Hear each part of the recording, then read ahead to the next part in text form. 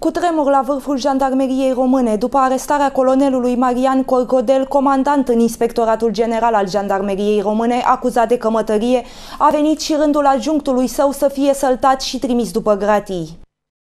Curtea de apel București a decis joi arestarea pentru 30 de zile a majorului Daniel Preoteasa, șeful de stat major al bazei de administrare și de servire a jandarmeriei române. El a fost ridicat de mascați miercuri direct de la aeroportul Otopeni în momentul în care se întorcea din concediu. Ulterior a fost reținut de procurorii DICOT. Preoteasa este cercetat în dosarul șefului său, colonelul Marian Corcodel, la rândul lui fiind arestat tot pentru 30 de zile, fiind acuzat de cămătărie și constituire constituire de grup infracțional organizat. Procurorii DICOT susțin că Marian Corcodel dădea bani cu camătă subordonaților săi, sumele ajungând și la 10 de mii de euro cu dobânzi cuprinse între 10 și 20%.